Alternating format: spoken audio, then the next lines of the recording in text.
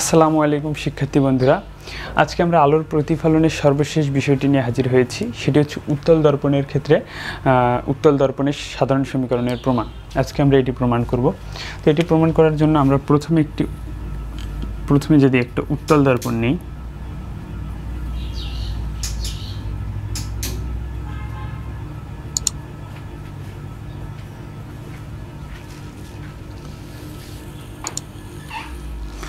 মনে করি আচ্ছা এখানে সি হচ্ছে আমাদের বক্রতার কেন্দ্র এফ হচ্ছে ফোকাস দূরত্ব। মনে করি ও একটি বিন্দু, যেখান থেকে আলোকরশ্মিটি পতিত হবে। এখানে এম এ এম দাস হচ্ছে একটা ক্ষুদ্র উন্মেষ বিশিষ্ট উত্তল দর্পণ। তো এখানে ও বিন্দু থেকে সাপোজ এই এম বিন্দুতে আলোকরশ্মিটি পতিত হয়। আলোকরশ্মিটি আলোকরশ্মিটি পতিত হয়। আচ্ছা এখানে যে অভিলম্ব, অভিলম্বটি যদি আমরা আঁকি, তাহলে এটি যাবে এই দিক দিয়ে। আচ্ছা এবার আমরা যদি এখানে দেখি, ও বিন্দু থেকে যে আলোকরশ্মিটি এম বিন্দুতে যদি পতিত হয়, এম বিন্দুতে পতিত হওয়ার পর আলোর প্রতিফলনের দ্বিতীয় সূত্র অনুযায়ী এটি আই এর সমান কোণ অর্থাৎ আপতন কোণের সমান কোণ করে এই দিক দিয়ে প্রতিফলিত হবে। এই কোণটিকে আমরা ধরতে পারি আর। আচ্ছা আবার আরেকটি আলোকরশ্মি যদি ও থেকে সরাসরি এ বিন্দুতে পতিত হয়, অর্থাৎ বক্রতার কেন্দ্রের বরাবর যদি পতিত হয়, তাহলে এটি আবার বক্রতার কেন্দ্রের বরাবরই ফিরে যাবে। আচ্ছা এখানে যদি আমরা লক্ষ্য করি, তাহলে দেখতে পাচ্ছি যে আলোকরশ্মি একটি ও বিন্দু, অর্থাৎ এ ও রেখা দিয়ে যাচ্ছে। আবার আরেকটি আলোকরশ্মি, এখানে যদি আমি কে দিই, এম কে রেখা বরাবর যাচ্ছে। এমকে রেখা বরাবর যাচ্ছে। অর্থাৎ দুইটি রেখা মিলিত হওয়ার কোনো সুযোগ নেই। এই কারণে আমরা যদি উভয় রেখাকে পিছনের দিকে বর্ধিত করি,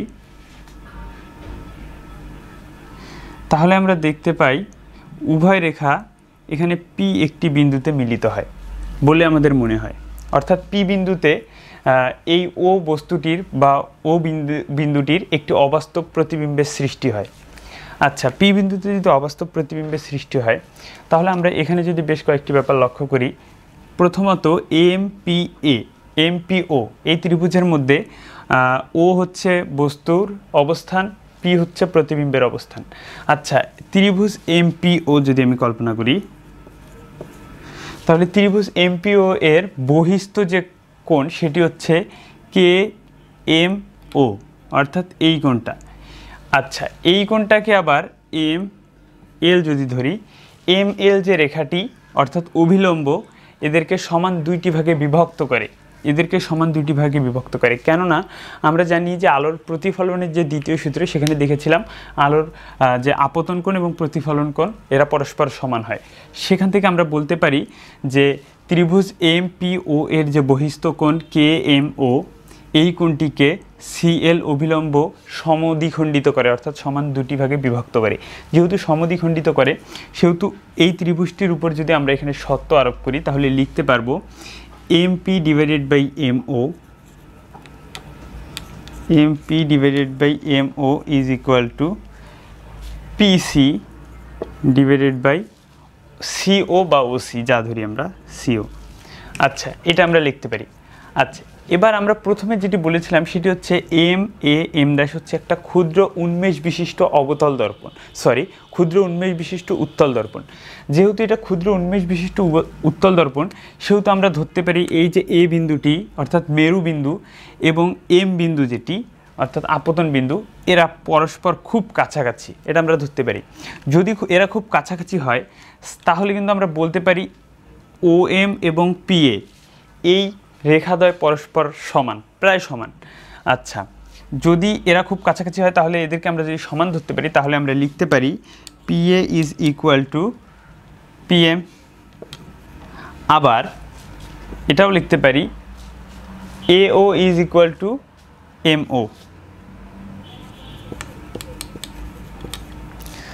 আচ্ছা এবার যদি এই সম্পর্কটিকে আমরা এই এক নম্বর সমীকরণে স্থাপন করি, তাহলে আমরা পাই পিএম বা এমপি এর জায়গায় যদি আমরা পিএ বসাই, তাহলে এখান থেকে আমরা পাই PA divided by M O এর স্থলে যদি এও বসাই, তাহলে পাই এটা is equal PC by CO আচ্ছা এখানে পিসিকে আমরা কি লিখতে পারি? এটা যদি আমরা একবার দেখি পি সি এই অংশটাকে আমরা কি লিখতে পারি? আচ্ছা এখানে আমরা যদি আগে ক্লিয়ার হই, এই যে এ বিন্দুটি, এটা হচ্ছে মেরুবিন্দু মেরুবিন্দু থেকে এই যে ও বিন্দুটি, এটা হচ্ছে আমাদের বস্তুর অবস্থান। অর্থাৎ এই দূরত্বটুকুকে আমরা ধরব ইউ অর্থাৎ বস্তুর দূরত্ব। যেহেতু বস্তুর দূরত্ব পজিটিভ এখানে বস্তুর দূরত্ব পজিটিভ আচ্ছা বস্তুর দূরত্বকে যদি আমরা পজিটিভ ধরি এ থেকে পি এর যে দূরত্ব, এটা হচ্ছে প্রতিবিম্বের দূরত্ব। যেহেতু এটি বস্তুর দূরত্বের বিপরীতে আছে, সেহেতু এটাকে আমাদেরকে ধরতে হবে নেগেটিভ এবং এই যে এ থেকে সি, অর্থাৎ বক্রতার কেন্দ্র থেকে মেরুর দূরত্ব, এই দূরত্বটাকে আমাদেরকে ধরতে হবে আর, অর্থাৎ এটা বক্রতার ব্যাসার্ধ, যেহেতু এটাও বস্তুর দূরত্বের বিপরীত দিকে, সেহেতু এটাকেও আমাদের মাইনাস আর ধরতে হবে। আর মাইনাস নেওয়ার কারণ হচ্ছে এটা বস্তুর দূরত্বের বিপরীত পাশে অবস্থিত। এখন যদি আমরা এখানে লক্ষ্য করি এখন আমরা যদি এখানে কল্পনা করি, তাহলে আমরা পিসি এর স্থলে কি লিখতে পারি? পিসি কতটুকু? আমাদের পিসিটা কতটুকু? আচ্ছা পিসি আমাদের এতটুকু? আচ্ছা যদি আমরা এসি থেকে পিএটুকু বাদ দিই, তাহলে কিন্তু আমরা পিসি পাচ্ছি। আমি আবারও বলছি এ এসি যে অংশটুকু, এই অংশটুকে টুকু থেকে যদি আমরা এপি অংশটুকু বাদ দিই, তাহলে আমরা পিসি অংশটুকু পাই। সুতরাং এটাকে আমরা লিখতে পারি AC minus AC minus AP divided by আবার সিও সিও অংশটাকে আমরা কি লিখতে পারি? এই অংশটাকে লিখতে পারি এসি প্লাস এও এটা লিখতে পারি? আচ্ছা এবার যদি আমরা এখান থেকে এই অংশটুকু বা এই রাশিটিকে ভ্যানিশ করে দেই বা সরিয়ে দেই, তাহলে কি পাই? P A divided by AO is equal to AC minus AP divided by AC plus AO এই অংশটা পাই। আচ্ছা এবার আমরা এই যে রাশিটি পেলাম, এটাকে যদি আমরা দুই নম্বর সমীকরণ ধরি, আমরা যে দূরত্বের মানগুলো ধরেছি, এই দূরত্বগুলোর মানগুলো অনুসারে আমরা আবার এই সমীকরণটিতে এই দূরত্বগুলোর মানগুলো বসানোর চেষ্টা করি। আচ্ছা যদি আমরা দূরত্বের মানগুলো এখানে বসাই, তাহলে পি এ যে অংশটুকু পি এ এতটুকু কিন্তু আমাদের কি? প্রতিবিম্বের দূরত্ব, যেটাকে আমরা নেগেটিভ ধরেছিলাম। বা যদি লিখি, এখানে পি এর স্থলে আমরা লিখতে পারি minus V divided by A O কতটুকু অংশ? এ, ও। এতটুকু হচ্ছে আমাদের বস্তুর দূরত্ব, যেটা হচ্ছে আমাদের ধনাত্মক রাশি, এটা হচ্ছে U, is equal to. AC কতটুকু অংশ? এসি হচ্ছে আমাদের বক্রতার ব্যাসার্ধ, যেটা ঋণাত্মক, অর্থাৎ মাইনাস আর। এখানে একটা মাইনাস রাশি আছে, মাইনাস। এবার আমাদের এপি কতটুকু? এপি হচ্ছে কিন্তু আমাদের প্রতিবিম্বের দূরত্ব। প্রতিবিম্বের দূরত্ব কিন্তু ঋণাত্মক। সেহেতু আমরা এখানে যদি ব্র্যাকেট দিয়ে মাইনাস ভি লিখি। আচ্ছা এই মাইনাসটা হচ্ছে আমাদের এই মাইনাসটা এবং এই ভিতরের মাইনাসটা হচ্ছে আমাদের এই দূরত্বের যে নেগেটিভ প্রতিবিম্বের দূরত্বর যে নেগেটিভ সেটা। এরপর এসি কতটুকু আমাদের?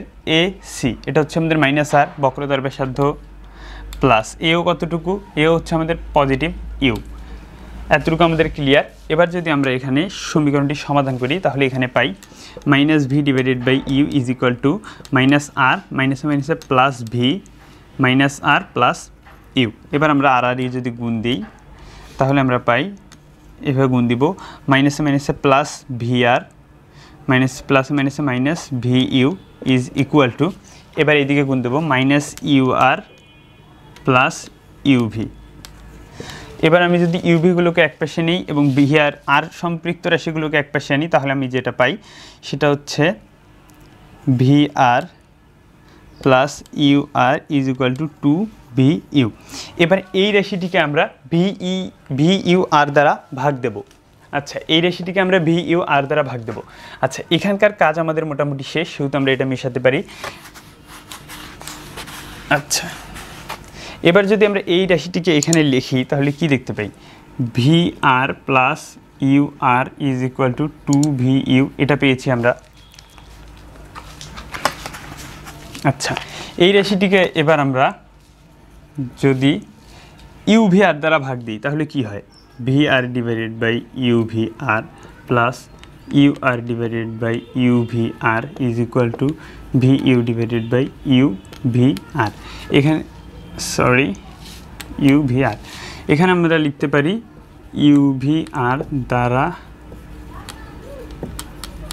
ভাগ করে ইউভিআর দ্বারা ভাগ করে। আচ্ছা এখানে আমরা ভাগ দিলে এখন কি পাচ্ছি? এখানে ভিআর ভিআর যদি আমাদের কাটা যায় ওয়ান বাই ইউ থাকে, এখানে থেকে U R U R one by V থাকে ইজ ইকুয়াল টু এখানে থেকে টু বাই ভি ইউ অর্থাৎ টু বাই আর আচ্ছা আমরা বক্রতার ব্যাসার্ধ এবং ফোকাস দূরত্বের যে সম্পর্ক, সেখান থেকে দেখেছিলাম, ফোকাস বক্রতার ব্যাসার্ধ R is equal to two F এটা আমরা দেখেছিলাম। তো এখানে যদি আমরা টুকে এই পাশে গুণ এফ এর মান যদি বের করি এফ ইজ ইকুয়াল টু দাঁড়ায় আমাদের আর বাই টু অতএব আর এর মান আচ্ছা সরি এখানে আর ইজ ইকুয়াল টু আমরা টু এফ জানি। এই মানটাই যদি আমরা এখানে বসাই, তাহলে আমাদের সমীকরণটা বের হয়ে আসে। সেটা হচ্ছে টু বাই আর এর মান হচ্ছে টু এফ টু টু কাটা, অতএব ওয়ান বাই ইউ যোগ one by V is equal to one by F এটাই হচ্ছে আমাদের মূলত সাধারণ সমীকরণ। তো শিক্ষার্থী বন্ধুরা, আজকে আমরা দেখলাম উত্তল দর্পণের ক্ষেত্রে সাধারণ সমীকরণের প্রমাণ। এই প্রশ্নটি খুবই গুরুত্বপূর্ণ, যেটা অসংখ্যবার বিভিন্ন গুরুত্বপূর্ণ কারিগরি বোর্ডের প্রশ্নে এসেছে। তো এটার প্রতি আমরা বিশেষ দৃষ্টি আরোপ করব। আজকে এ পর্যন্তই। আল্লাহ হাফিজ।